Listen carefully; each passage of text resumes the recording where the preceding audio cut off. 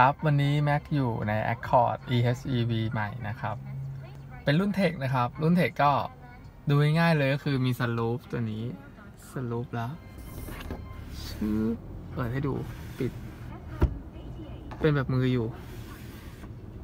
นะครับ ปิดได้ด้วย แล้วก็ด้านในสวยไหมสวยมากครับ เป็นเบาะหนังสีน้ำตาลนะครับ จอวิทยุเดี๋ยวเปิดให้ดูนะ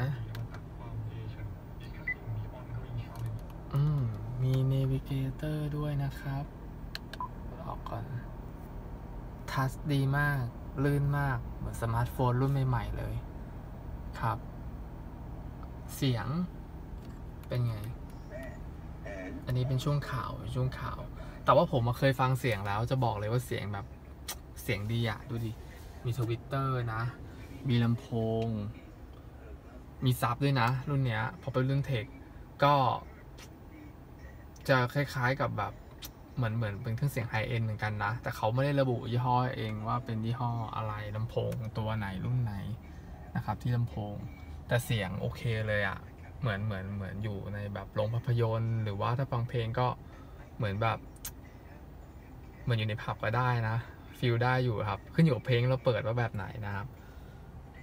สถานะตอนนี้ก็คือใช้พลังงานจากตัวแบตเตอรี่นะครับ โอเค เพราะว่าแบตเตอรี่มีมากกว่า 3 ขีดนะครับน้ำมันเหลือ 2 ขีดนะครับ ตัวนี้มีระบบ Honda Sensing แล้ว ให้รถอยู่ในเลนนะครับ แล้วก็กะระยะคันหน้าได้ 4 ระยะนะครับ ก็คือคันนี้จะเป็น Adaptive แล้ว Cruise Control นะครับ ก็คือ วิ่งความเร็วแปรผันตามรถคันหน้าเลย ถึงจุดหยุดนิ่งนะครับ start stop แต่ได้ประมาณ 5 วินะ ถ้าเกิดจากนั้นเราต้องเจ็บคันเร่งเองอะ่ะเพราะว่าเพื่อความปลอดภัยนะครับ เพราะว่าอาจจะได้ผลว่าถ้าเกิดนานกว่านั้นอะเราอาจจะไม่ได้พร้อมหรือเปล่าถ้า 5 วิมันกำลังดีประมาณนี้ครับ ดูภายในรอบๆนะหรูหรูมากเลย มี Memory Seat ด้วย ตรงนี้มี Memory Seat มี 1 2 ตำแหน่งนะครับ ปุ่ม start แล้วก็มี head up display มอลูมัวมองเห็นปะเนี่ย เห็นเนอะอยู่ตรงเนี้ยเนี่ยครับ แสงไม่ได้ โอเคเห็นไหม head up display จะเป็นจุดๆนะครับจะเป็นเลขศูนย์กิโลเมตรต่อชั่วโมงเนี่ยมันปรับขึ้นลงได้นะเดี๋ยวผมลองปรับดู เอาลงมาหน่อยเห็นไหมเห็นไหมลงปรับขึ้น มันสะท้อนมาจากช่องเนี้ย ตรงเนี้ยครับ ตรงนี้เลย รวมๆแล้วน่าใช้มากครับ น่าขับมากครับ ดูภายในสิ มี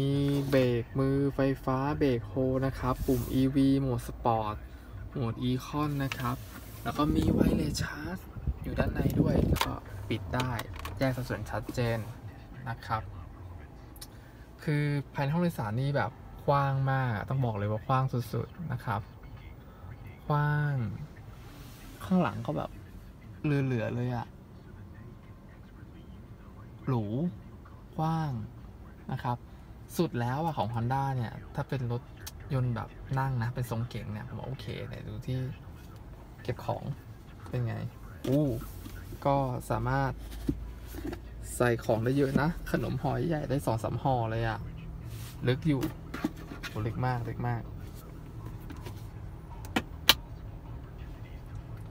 แอร์ดูอัลโซนยาอิสระซ้ายขวานะครับ อ่า มาแล้ว ก็คือเครื่องยนต์จะชาร์จเข้าแบตเตอรี่แล้วตอนนี้ นี่ครับจะเป็นลักษณะแบบนี้เลยเครื่องยนต์ทำงานชาร์จเข้าแบตเตอรี่นะครับ เพื่อให้มีไฟนะครับ ก็จะใช้น้ำมันประมาณนึงไม่มากนะครับรวมโดยรวมแล้วประหยัดมากตอนขับแล้วระยะไกลคือประหยัดมากแต่แบตเตอรี่มันเหลือน้อยกว่าสามไง เหลือสองขีดเดี๋ยวเหลือสามก็ตัดเหมือนเดิมครับนะสามแล้วตัดเหมือนเดิมเป็น EV ละเห็นไหมครับ สวยอะ่ะ คือน่าใช้อีกฟังก์ชันหนึ่งเลยอะ่ะสันลูปเอาให้สุดสลูปเปิดแล้วไงต่อ สามารถเปิดแบบกระดกได้นะ โดยการแบบกดขึ้นอย่างเงี้ย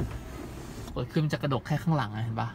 แต่ถ้าเกิดว่าเราจะเอาลงก็ได้ เอาลงก็ได้ หรือว่าเราจะเปิดไปเลยอย่างนี้ก็ได้เหมือนกัน อันนี้ก็จะเอามือ ขึ้นได้เลยเห็นไหมครับเอามือขึ้นได้เลยแล้วถ้าปิดอะ ปิดเดี๋ยวผมจะลองนี่ แบบมันโปรเทคไหมโปรเทคแจมอันหนีบ ต้องไม่หนีบนะเนี่ย เนี่ยไม่หนีบเด้งออกเลย เดี๋ยวคนอาจจะหาว่าผมไปปิดมันหรือเปล่าไม่ใช่อ่า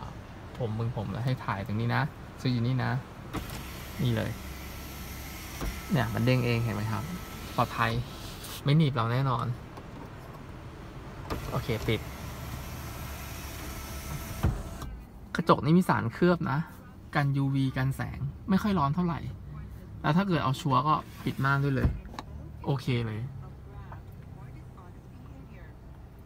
เดี๋ยวมาดูรุ่นต่อไปนะ จะมารีวิวภายในของ Honda รุ่นไหนอีก รอชมติดตามด้วยนะครับ ก็ติดตามไม่ง่ายก็คือ กด Subscribe ให้ผมหน่อยนะครับ แล้วเดี๋ยวพอมีคลิปเรื่อยๆอย่างเงี้ย ถ้าเรามีกระดิ่งแจ้งเตือนนะ ก็จะแจ้งไปทางคนที่ติดตามให้นะครับ ก็จะได้ดูคลิปตลอดตลอดเลย ต้องฝากหน่อยนะครับ จะได้มีกำลังใจในการทำคลิปต่อไปเรื่อยๆเลยนะครับ ขอบคุณมากนะครับจากเซลแม็กนะครับ ขอบคุณครับ